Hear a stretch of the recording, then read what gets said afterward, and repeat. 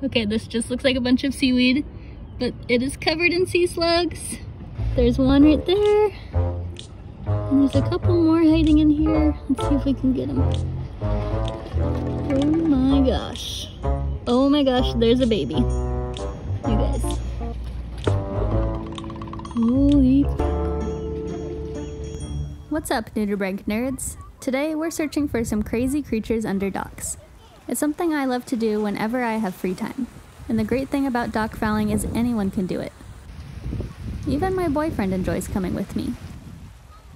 All you need is an ocean and a dock, and the creatures will come. So let's see what we can find. But first,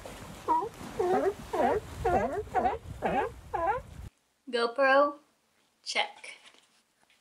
Water bottle, check. Cell phone for recording videos, check. That's all you need. Actually, you don't need any of this stuff except water, so you don't get parched.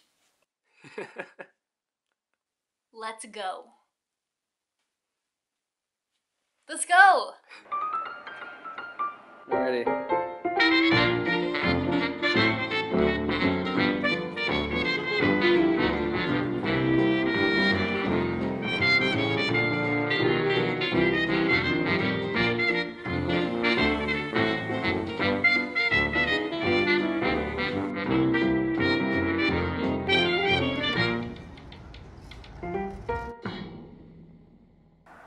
Finally made it.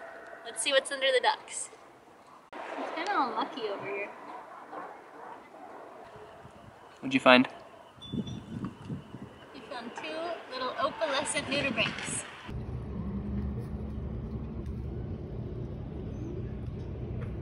I can't believe this. There are so many of them. Wow. They're literally everywhere.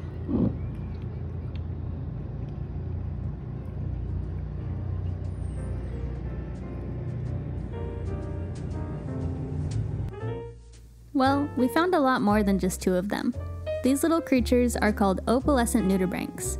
Nudibranchs, also known as sea slugs, are related to land slugs, but as you can see, they are a whole lot cooler.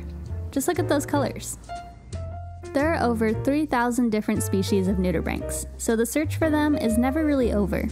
As soon as I find a new species, I can't wait to start looking for the next one. On this trip, I found some other species too, like this sea lemon. Depending on where you are in the world, you can find different sea slugs, like these hooded nudibranchs I found in Washington. Fun fact, they smell like watermelon. Here's one I found in Northern California, called the leopard dorid, but I think it looks more like a tiny cow. These stringy things are the nudibranch eggs. It really is a beautiful thing to watch the circle of life playing out right here, under the docks.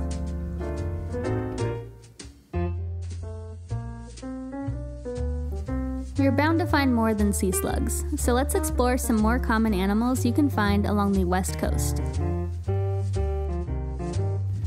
These might look like truffula trees from Dr. Seuss, but they're actually worms, more specifically, tube worms. These giant plumose anemones are very common on the docks in Washington. Anemones are related to jellyfish. They have stinging cells in their tentacles that help them catch their prey. And let's not leave out the amazing diversity of seaweeds. Without these seaweeds, the animals wouldn't have habitat to live in. And I just love watching them float in the currents.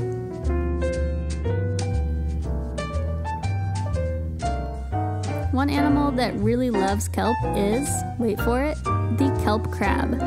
Kelp crabs not only hang out in the seaweed, they eat it too. They range in color from brown to red to even purple, and those colors help them camouflage very well in the kelp. You might even find one hanging out next to its molt, which is the exoskeleton they shed when they grow. It's a pretty cool thing to find.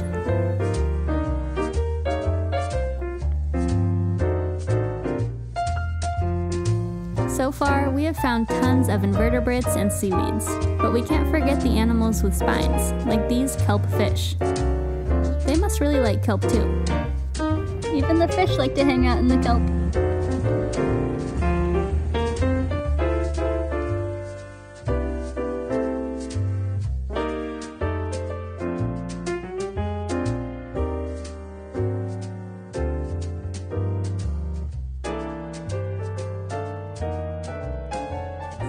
There's so much to find under a dock. It really goes to show that you don't have to go far for an adventure. You can learn, explore, and discover new things just about anywhere you go. I hope you enjoyed this trip to the docks, and I can't wait to take you on the next adventure.